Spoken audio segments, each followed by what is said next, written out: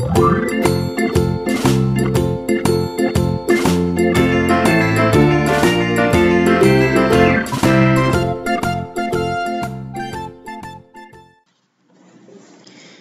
langsung pada kesempatan kali ini kita akan membahas sebuah soalan di sini. Dayu membeli beras sebanyak 48 kg, sedangkan Meli membeli beras sebanyak 53 kg. Jika berat beras mereka beli dibulatkan ke puluhan terdekat, maka berat beras siapakah yang lebih berat? Berikan alasanmu. Nah, di sini kita akan menghitung satu persatu. Yang pertama adalah beras milik Dayu. Di situ adalah 48 kg Kemudian yang meli di situ adalah 53 kg. Nah, di sini disuruh untuk uh, dibulatkan ke puluhan terdekat ya.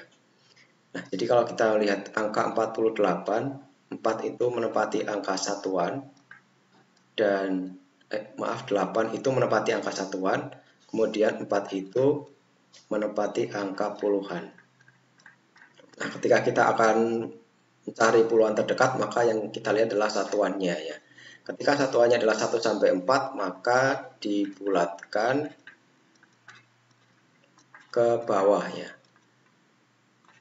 Nah, kalau angkanya itu adalah 5 sampai 9, maka dibulatkan ke atas. Nah, kalau dibulatkan ke atas berarti ditambah satu ya di puluhannya.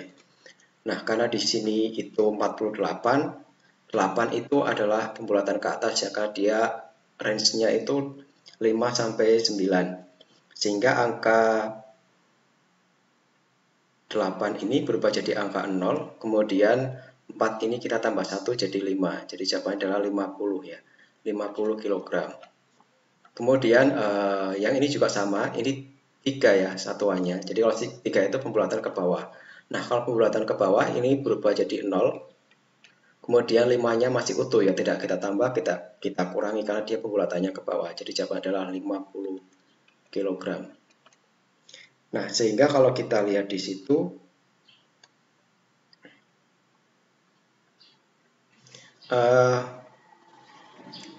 maka berat siapakah yang lebih berat ya. Jadi jadi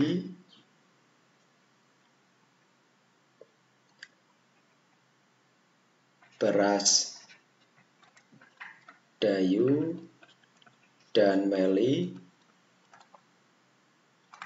sama berat. Rasanya kenapa ya? Karena jumlah beratnya sama sama 50 kg ya. Jadi sama. Jadi berat antara berasnya Dayu dan Meli itu sama ya. 50 kg. Nah, itu saja yang bisa sampaikan. Semoga bermanfaat. Jangan lupa untuk selalu like, comment, share, dan klik tombol subscribe serta klik tombol loncengnya. Terima kasih.